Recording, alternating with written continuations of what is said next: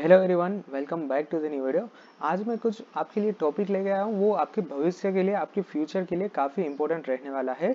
तो वीडियो में देखिए, आप अपनी स्क्रीन के ऊपर पढ़ पा रहे होंगे। जैसे कि मैंने लिखा है your education fee is your four year of investment यानी कि आपकी जो एजुकेशन की जितनी भी फ़ीस होगी चार साल की, वो आपके लिए एक चार साल का इन्वेस्टमेंट है।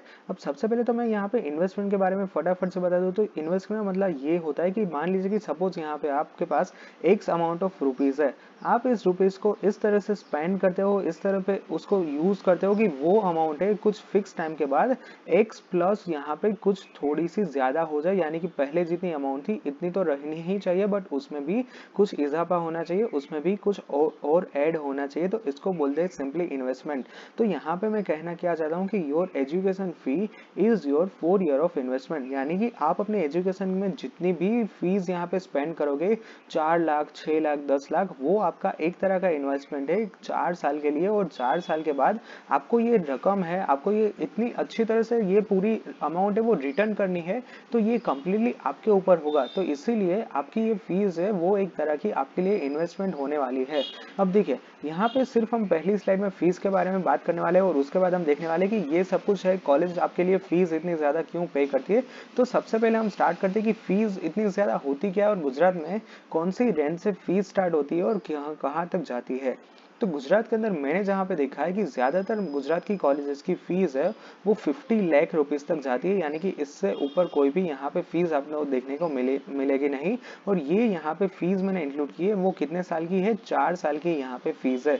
अगर हम गुजरात की गवर्नमेंट कॉलेज की फ़ीस की बात करें तो वो स्टार्ट होती है एक या फिर दो लाख से, और वो जाती है पंद्रह लाख और इससे भी अबव तक। यानी कि अगर हम पर्टिकुलर कोई भी गवर्नमेंट इंजीनियरिंग की कॉलेज की बात करें तो इसमें आपका चार साल का खर्च सिर्फ़ एक या फिर डेढ़ लाख ही आएगा और ज़्यादा से ज़्यादा मोटा मोटा आप मान के चलिए कि दो लाख आएगा। इससे ज़्यादा नहीं आ सकता है क्योंकि फ़ीस ही सिर्फ़ है one thousand five hundred rupees ठीक है? लास्ट में आप यहाँ पे, मेरी एक एडवाइस रहे, ये रहेगी कि आप सबसे पहले तो टोटल कॉस्ट लेके चलो और उसके साथ साथ एक बजट मैनेजमेंट लेके भी चलो। अब टोटल कॉस्ट सबसे पहले मैं समझा देता हूँ कि देखिए, जब भी आप टोटल कॉस्ट देखने जाओगे आपका चार साल का तो इसमें कौन कौन सी चीज़ ऐसी है कि जो आपको मस्ट इंक्लूड करनी है? यानी कि इसके ज़्यादा भी आप इसमें टोटल कॉस्ट में ऐड कर सकते हो बट यहाँ पे मैंने जितने पॉइंट्स लिखे हैं, वो तो आपको ऐड करने ही होंगे, जिसमें सबसे पहले आपका आएगा एजुकेशन फ़ी यानी कि आपकी चार साल की कॉलेज की फ़ीस अब इसके अलावा आप किस तरह से लाइफस्टाइल जीते हो तो ये भी कॉस्ट आपको इंक्लूड करना होगा। मैं फटाफट से इसका एग्जांपल दे दूँ। मान लीजिए कि आप अपनी कॉलेज कर रहे हो अहमदाबाद में और आप अपना घर है राजकोट के अंदर। तो ऐसा तो होगा नहीं कि आप चार साल के लिए अहमदाबाद ही रहोगे। जब भी बीच में वेकेशन पड़ेगा, तब आप राजकोट के लिए वापस घर भी आओगे। तो देखिए, अहमदाबाद से राजकोट आओगे, तब आपके लिए काफ़ी सारे ट्रांसपोर्टेशन की फैसिलिटी है।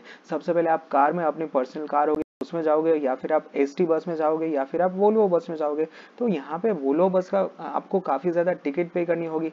सेम अगर आप ट्रेन से जाते हो तो देखिए आप यहाँ पे सेकंड सीटिंग में जा सकते हो जनरल में जा सकते हो स्लीपर में जा सकते हो थर्ड एसी सेकंड एसी और फ़र्स्ट एसी यानी कि ये आपकी लाइफ कैसी है तो ये आपका लाइफ का कोस्ट भी यहाँ पे टोटल कोस्ट के अंदर इंक्लूड करना होगा।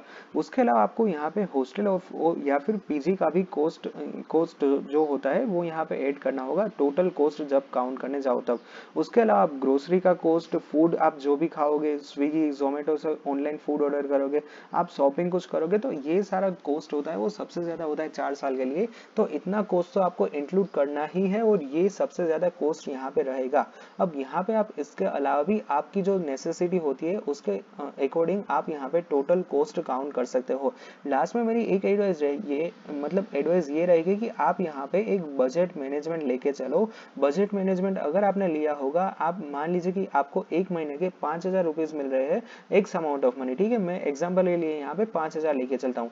तो ये पाँच हज़ार रुपीज़ है वो आपको इस तरह से यूज़ करने हैं कि आपको at the end of month ये पैसे होने चाहिए।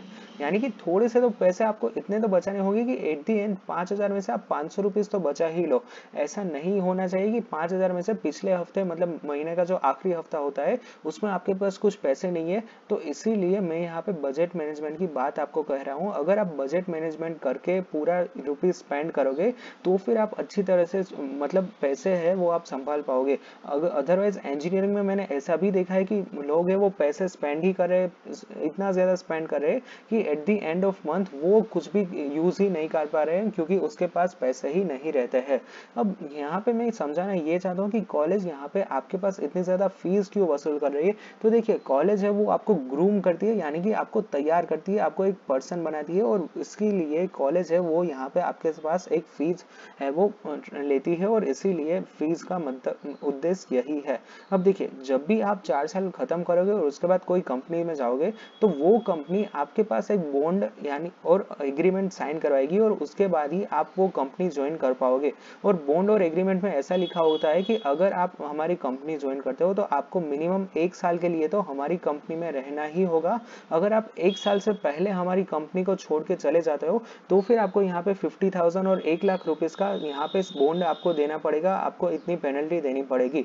तो देखिए कंपनी भी यहाँ पे एम्प्लॉयज़ के पास बॉन्ड साइन करवाती है तो ये ये तो मामूली सी बात है कि इतनी ज़्यादा फ़ीस होगी आपको ग्रूम करने के लिए रेडी करने के लिए, ठीक है? अब यहाँ पे कॉलेज है, वो आपको एक कम्प्लीटली डिफरेंट पर्सन बना देता है। जब भी आप कॉलेज में जाओगे, तब आप सिर्फ़ एक स्कूल स्टूडेंट्स होंगे और at the end of four year वो आपको एक प्रोफेशनल इंजीनियर बना देते हैं। तो ये सारी फ़ीस है, वो इसीलिए है। So it is a kind of investment you are doing the more you will invest the more you will get return यानी कि आप हो सके उतनी कॉलेज में इन्वेस्ट करोगे तो आपको उतना ही ज़्यादा रिटर्न मिलने के चांसेस है। अब यहाँ पे आपको मैं एक सिंपल एग्ज़ाम्पल देता हूँ, ठीक है? आई आई एम अहमदाबाद का नाम आपने सबने सुना होगा। अब आई आई एम अहमदाबाद की फ़ीस ही कितनी ज़्यादा है? यानी कि वो तो दो साल का ही कोर्स होता है बट फिर भी उसकी फ़ीस कितनी ज़्यादा है? बट फिर भी वहाँ पे आपको स्टूडेंट्स दिखेंगे। इसका रीजन क्या है? कि उसका पैकेज जो होता है, वो जितनी आप फ़ीस पे करते हो, उससे डबल या फिर ट्रिपल होता है। तो इसीलिए कॉलेज इतनी ज़्यादा फ़ीस आपसे कंसिडर करती है, लेती है। तो इसीलिए the more you will invest the more you will get in return यानी कि आप हो सके उतनी कॉलेज में ट्राई करना इंजीनियरिंग में एडमिशन लेने का। लास्ट में मैं यही बताना चाहता हूँ कि क्या ये सही है? अब देखिए, यहाँ पे एक सवाल ये भी आता है कि यहाँ पे गुजरात के अंदर काफ़ी सारी यूनिवर्सिटी है, जिसमें थोड़ी सी मैं एग्ज़ाम्पल दे दूँ कि जैसे कि Indus university Atmiya university R K university Marwadi university तो क्या ये सारी कॉलेज में यहाँ पे आठ या फिर नौ लाख जितना चार साल का, चार साल होता है, उसमें आपने इन्वेस्ट किया और एट दी एंड आपको प्लेसमेंट का रिकॉर्ड देखोगे तो वहाँ पे आपको दो तीन लाख का पैकेज मिलता है।